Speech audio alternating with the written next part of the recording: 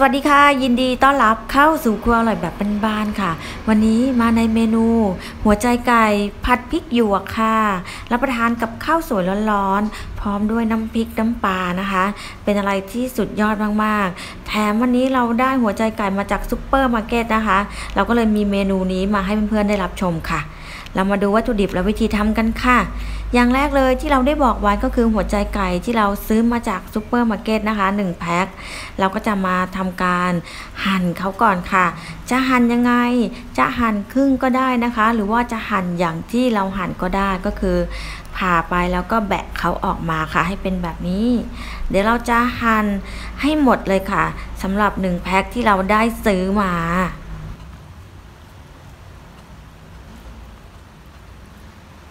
หั่ นเสร็จเรียบร้อยเราก็นำไปล้างน้ำกลับมาก็ได้มาเท่านี้ค่ะ วัตถุดิบต่อไปก็คือกระเทียมสับค่ะ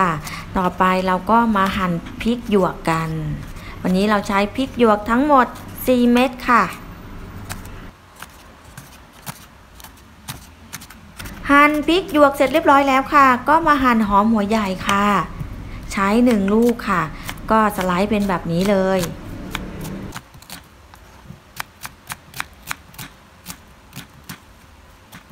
จากนั้นเรามาเริ่มผัดกันเลยค่ะ เริ่มจากการตั้งกระทะ ใส่น้ำมันลงไปเล็กน้อย น้ำมันเริ่มร้อน กระเทียมสับค่ะ ใส่ลงไป ขั้นตอนนี้เดี๋ยวเรามาผัดกระเทียมให้หอมก่อนค่ะ ต่อไปค่ะ เราจะใส่หัวใจไก่ลงไป ขั้นตอนนี้เราก็ผัดไปเรื่อยๆนะคะ จนกว่าหัวใจไก่เราจะสุกค่ะ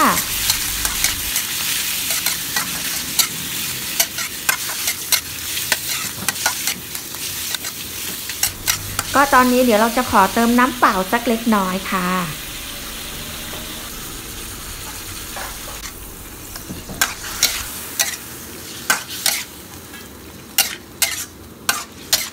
หัวใจไก่ก็สุกแล้วค่ะ เราใส่พริกหยวกลงไป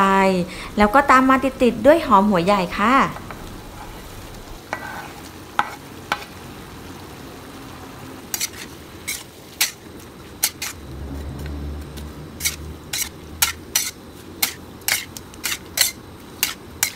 ขั้นตอนนี้ค่ะเรามาปรุงรสชาติกัน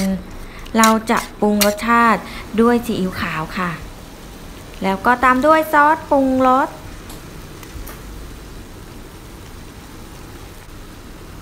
จากนั้นก็ใส่ซอสหอยลงไป แล้วก็ตามด้วยน้ำตาลทรายค่ะ ส่วนใครชอบผงปรุงผงชูก็สามารถใส่ได้เลยค่ะในขั้นตอนตรงนี้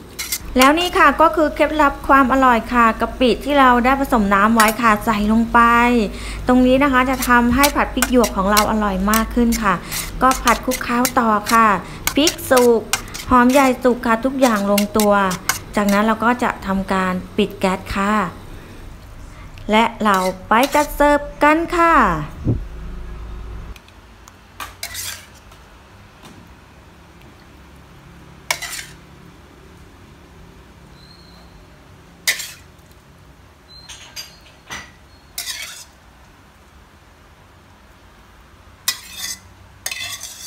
ก็เป็นอันเสร็จแล้วนะคะ กับเมนูหัวใจไก่ผัดพริกหยวกค่ะ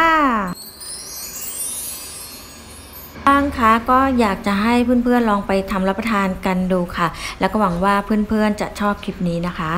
แล้วถ้าเกิดว่าชอบคลิปนี้ก็ฝากเพื่อนๆ กดไลค์กด Subscribe หรือกดติดตาม หรือกดกระดิ่งให้ด้วยก็ยิ่งดีค่ะสำหรับวันนี้อร่อยแบบบ้านๆจะต้องขอตัวลาไปก่อนแล้วนะคะ สวัสดีค่ะ